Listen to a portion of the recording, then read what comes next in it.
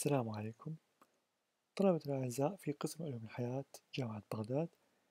الجزء الثاني من محاضرة سمارت تيبل الجدول هذا مثل ما اتفقنا أنه لمجموعة من الطلبة وكل طالب إله مجموعة من المواد وماخذ درجات.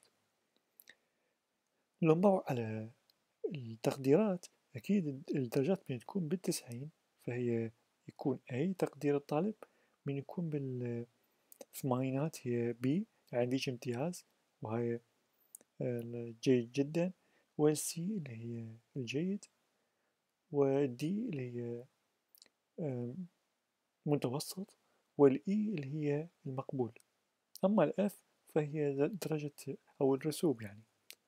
عم يطلع واحد بالنتيجة مكتوب ضعيف أو راسب. أما pass فنقصد بها مكمل.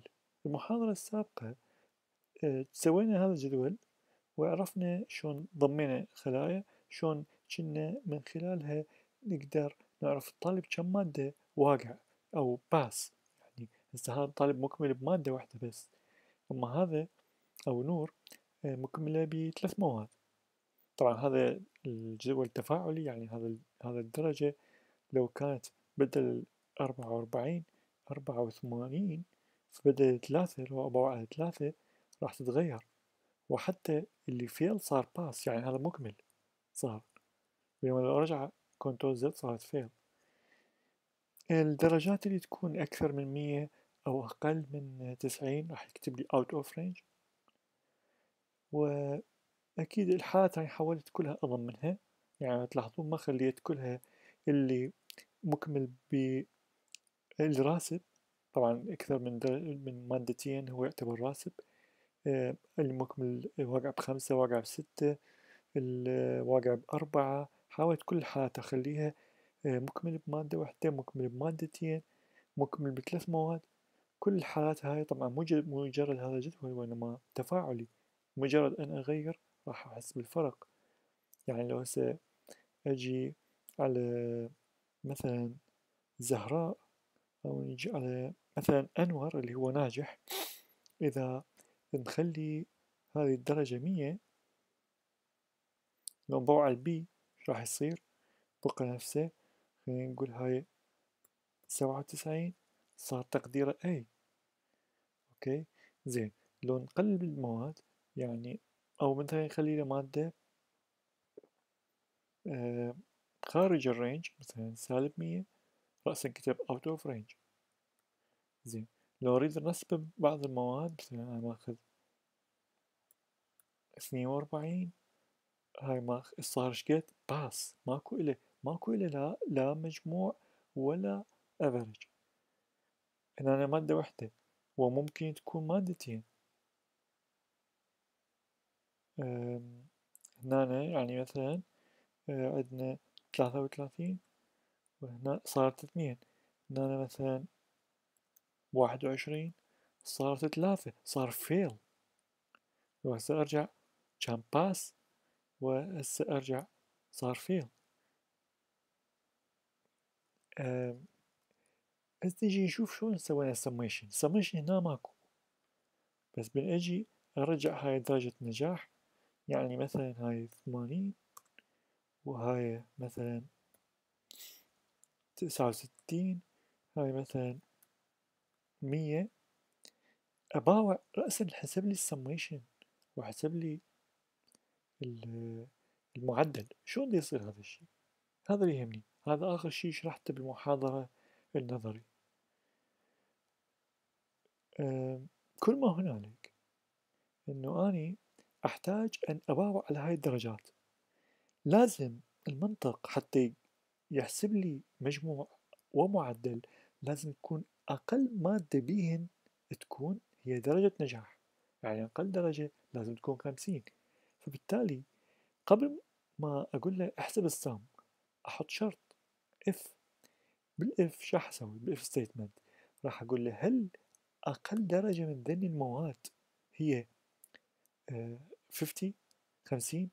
إذا كانت أقل وحدة هي أكبر عفوا أو تساوي خمسين عند هاي الحالة راح يسوي السميشن وبنفس الوقت أكو شرط ثاني. لازم المواد هاي الدرجات هاي تكون مو more than مية لأنه إذا أكثر من مية فبهاي الحالة أكيد هاي الدرجة ما ممكن أحسب. لو ما على هذا الشرط أول شي حطيت if statement إيش أقول؟ من ال D 9 هاي ال D وهذا سطر 9 إلى حد ال I ال I 9 شنو؟ إذا كانت الدرجة ذي الدرجات أصغر وحدة بيهن ذي الدرجات كلها بيها إذا كانت أكبر من خمسين. معناها هذا أكيد الطالب أقدر أحسب له مجموع. بس أنا حطيت دالة بوابة منطقية AND جيت حطيت إضافة لهذا إذا كانت أكبر أكبر درجة max. أكبر درجة من ال D 9 لل D عفوا لل I 9 أكبر وحدة لازم تكون أقل من 101 لأنه ما معقول أنا أحسب الطالب average أو summation وهو عنده درجة أكثر من 100 يعني هاي مو منطقية. فهسه هذا كله ال condition شنو النتيجة؟ إذا تحقق هذا الشرط النتيجة سوي لي summation. إذا لا فحط لي underscore. تلاحظون هاي underscore underscore أو dash sorry يعني هذا الطالب لا تحسب له مجموع. في حالة أنه هو درجته أي درجة من درجات أقل من خمسين أو أكبر درجة عنده هي أكبر واحدة من درجات أكبر من ال max أكبر من مية.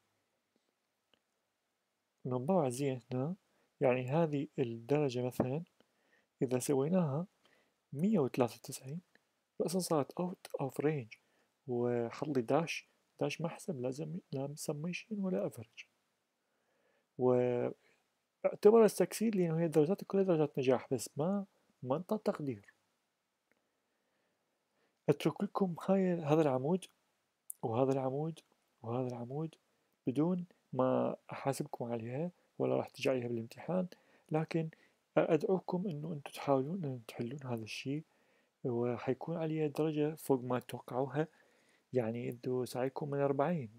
الطالب الشاطر اللي يقدر يحل هذا الحل آه، حل استثنائي المفروض فممكن ياخذ ممكن أكيد راح يكون أنطي عشرين عشرين من أربعين. آه، بدون امتحان عند أحكي عشرين راح يكون مبدئيا عنده بالسعي زين نجي الأفرج استويت بيها. يعني هنا أي درجة من الدرجات؟ إذا كانت آه، درجة رسوب باوع هنا باوع زين أنت اختلفت هاي وهاي. هاي إيش صارت؟ إحنا إيش اتفقنا هسه؟ هاي أربعين. لو باوع الأربعين الأربعين هي مو أكبر من خمسين فبالتالي بال AND أي وحدة من عندهم ما حققت الشرط انطاني dash زين. بالنسبة لل average سويت إيش دا أقول؟ ال G 9 هاي ال G إذا كانت ال G 9 ما تساوي dash عند هاي الحالة أحسب لي ال round لل average ومن من من ال D 9 لحد ال E 9 يعني أنت بس تحس بس تحسب لي المعدل. ال average فقط من يكون السميشن مالتي اللي هو G 9 لا يساوي dash. لأن إذا هو يساوي dash فمعناه عندي مشكلة. يا أما عندي الرقم أكبر من 100 أو الرقم أقل من 50 إذا لا حط لي dash. طبعا هنا التقريب آه، حاط صفر. حتى يكون مثل ما علمتكم بال round. يكون لحد آه، صفر digit بعد الفارزة. أتمنى الموضوع واضح. أتمنى أنه هذا الجو تباعوا عليه زين والطلاب المتميزين من عندكم أو اللي يحاولون يكونوا متميزين يحاولون أن آه، يراجعون المادة ويشوفون المحاضرة السابقة والمحاضرات اللي قبلها إذا ما فاهميها ويحاولون يحلون هذا ال homework فبإمكانهم أن يحصلون بهاي الحالة عشرين درجة على السعي وراح أنزل فيديو أخير بعد هذا الفيديو home آه، آخر. ال homework الجاي أيضا للطلبة الاستثنائيين آه، راح يكون عليه درجة أربعين من أربعين. يعني اللي يحل ال homework اللي راح أنزله بعد هذا هذا من عشرين اللي بعده من أربعين راح أحصل أربعين من أربعين سعي آه، أشكركم وأتمنى أنه آه، تراجعون المادة وتقرون وأتمنى تعدي أزمة فيروس كورونا على خير. وإن شاء الله رمضان كريم على الجميع. تحياتي لكم. مع السلامة.